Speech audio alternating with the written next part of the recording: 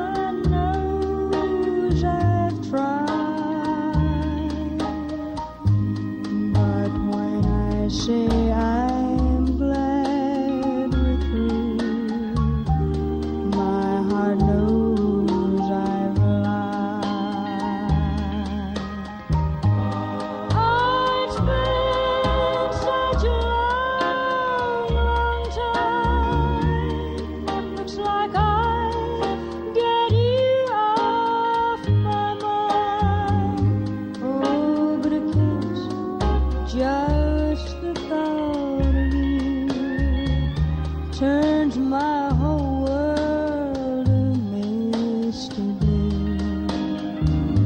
Just the very thought of you turns my whole